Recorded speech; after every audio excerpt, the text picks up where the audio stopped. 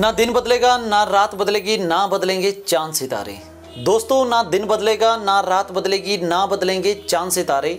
बदलना है तो खुद को बदलो, क्यों बैठे हैं दूसरों के सहारे? नमस्कार, मैं हूँ आपका अपना दोस्त Ram Prakash Thakur, mind operation academy Himachal Pradesh से। आज आपके लिए खूबसूरत वीडियो लेकर के आया हूँ। आगे बढ़ने से पहले, अगर आपने चैनल को अभी भी सब्सक्राइब नहीं किया तो चैनल को सब्सक्राइब कर दीजिए। सब्सक्रिप्शन के बगल में बेल आइकन है, उसको प्रेस करना मत भूलिएगा, ताकि आने वाले टाइम में आपको इंपॉर्टेंट वीडियो की नोटिफिकेशन टाइम पर मिल सके। चलिए दोस्तों, शुरू करते हैं। क्या आप जानना चाहते हैं कि हमें मेडिटेशन क्यों करनी चाहिए? क्या आप जानना चाहते हैं कि गुस्से के नेगेटिव इम्पैक्ट हमारे जीवन में क्या होते हैं? क्या आप जानना चाहते हैं कि मन का भाव इंसान का कैसे बदल सकते हैं? इन सभी प्रश्नों के जवाब आपको इस वीडियो में मिलेंगे। वीडियो में अंत तक बने रहिएगा। दोस्तों, शुरुआत में मैं आपको एक कहानी सुनाऊँगा। कहानी के बाद उस वीडियो का जब हम कंक्लूजन निकालेंगे तो इन सभी प्रश्नों के जवाब आपको मिल जाएँगे। एक बार एक औरत थी, एक गाँव में रहती थी, उसके पास एक गाय थी और वो हर रोज मेडिटेशन करती थी। मेडिटेशन करते करते उसके मन में एक भाव आया और वो भाव ये आया कि गाय को मैं चारा तो हर रोज खिला रही हूँ। क्यों ना मैं आज गाय को रोटी खिलाऊं? एक दिन वो गाय को रोटी खिलाती है और उसके मन को शांति मिलती है कि मैंने गौ माता को रोटी खिलाई। और दूसरे दिन दोबारा मेडिटेशन करती है उसके मन में दोबारा भाव आता है और दूसरे दिन गाय को दोबारा से रोटी खिलाती है। वैसे करते करते तीसरे दिन, चौथे दिन, पाँचवें दिन, छठे दिन, सातवें दिन एक दो महीने हो जाते हैं, रोटी खिलाते खिलाते दो महीने के बाद जैसे वो गाय के मुँह के पास रोटी रखती है और थोड़ी देर के बाद बिल्ली आती है और बिल्ली गाय अभी रोटी नहीं खाती है और उसके खाने से पहले उस रोटी को उठा के ले जाती है। एक दिन होता है ऐसा, दूसरे दिन दोबारा से औरत रोटी रखती है और बिल्ली आती है, बिल्ली उस गाय के हिस्से की रोटी को उठा के ले जाती है। तीसरे दिन दोबारा औरत गाय के पास रोटी रखती है और बिल्ली आती है, बिल्ली गाय के हिस्से की रोटी उठा के ले जाती है। ये सिलसिला आठ दस दिन चलता है और औरत मेडिटेशन करते करते एक चीज़ सोचती है कि ये गाय के हिस्से की रोटी बिल्ली क्यों खा रही है? क्या ये सही कर रही है? तो दोस्तों, औरत के मन में अचानक से नेगेटिव भाव आता है और नेगेटिव भाव आने के बाद वो दूसरे दिन एक प्लानिंग बनाती है। सुबह उठती है मेडिटेशन नहीं करती हैं और मन में सोचती है कि आज मैं इस बिल्ली को कुछ ऐसा खिलाऊँगी जिससे कि बिल्ली मर जाए। वो अगले दिन सुबह उठ करके एक रोटी बनाती है, उसमें जहर मिला देती है। उस रोटी को गाय के पास रखती है और वापिस आ जाती है। गाय को थोड़ा दूर रखती है और घर वापिस आती है। जैसे घर वापिस आती है तो मेडिटेशन करने बैठी होती है। मेडिटेशन करते ही जैसे वो अपने ब्रीदिंग के ऊपर ध्यान देती है, उसको अचानक से याद आता है कि मैं तो गलत कर रही हूँ। मुझे किसी को मारने का अधिकार नहीं है। अभी बिल्ली नहीं पहुँची होती है, उतने में खड़े होकर के वो वापिस चली जाती है, उस रोटी को वापिस लेकर के आती है। और जैसे उसने उस रोटी को वापस लाया और उसकी जगह पे दोबारा से दूसरी रोटी रख लेती है वहाँ पे, और दूसरी रोटी दोबारा से बिल्ली आती है और आ करके उठा के वहाँ से ले जाती है। मतलब गाय के हिस्से की रोटी बिल्ली उस दिन भी ले गई। अब दोस्तों, वो औरत इकमिनान से शांति से मेडिटेशन करती है और मन ही मन बोलती है, दाने दाने पे खाने वाले का नाम लिखा होता है। हो सकता है कि ये जो रोटी है, ये बिल्ली के ही हिस्से की हो, गाय के हिस्से की ना हो। और उस दिन शाम होती है और शाम को उसका एक बेटा होता है और बेटा काम करने गया होता है कहीं पे कई महीनों से और वो वहाँ से वापस आ रहा होता है और आते आते चिल्ला रहा होता है he was screaming and shouting माँ माँ माँ, और कहता है कि जल्दी से गेट खोलिए, बहुत ही ज़्यादा भूख लगी है, मुझे रोटी दीजिए, मैं तीन दिनों से भूखा हूँ। ये तो भला हो उस बिल्ली का कि वो सामने से रोटी लेकर के आ रही थी, उसके मुँह से वो रोटी छूटी और मैंने वो रोटी खाई। अदरवाइज़ मैं तो जंगल में लंबा पड़ा हुआ था और मेरे से चला नहीं जा रहा था। I was totally lethargic I didn't take even a single step when I had chapati उसके बाद मैं चलने लायक बना और बड़ी मुश्किल से यहाँ तक पहुँचा हूँ।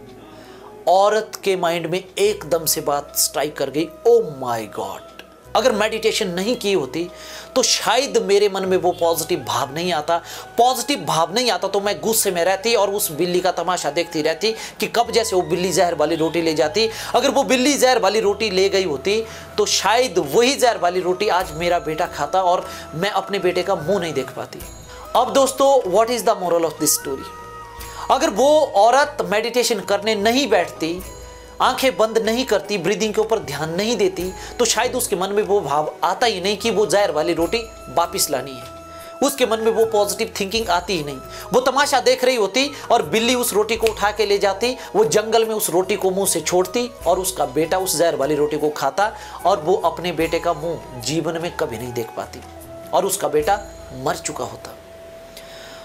अब दोस्तों, हमने कहा कि मेडिटेशन करना क्यों ज़रूरी है? हमारे जीवन में बहुत बार ऐसी नेगेटिव भाव आते हैं, बहुत बार नेगेटिविटी आती है। जब हम मेडिटेशन करते हैं तो हमारे माइंड की जो इंटेंसिटी है, हम अल्फ़ा स्टेट में आते हैं। हमारा जो गुस्सा होता है, वो कंट्रोल हो जाते हैं और हम प्रेजेंट मोमेंट में आ जाते हैं। उससे कि हमारे cell tissue organ proper way में काम करना शुरू करते हैं।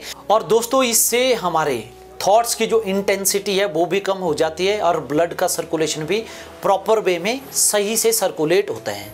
और मन के भाव भी चेंज हो जाते हैं। जैसे मैंने कहा था कि मेडिटेशन हमें क्यों करनी चाहिए?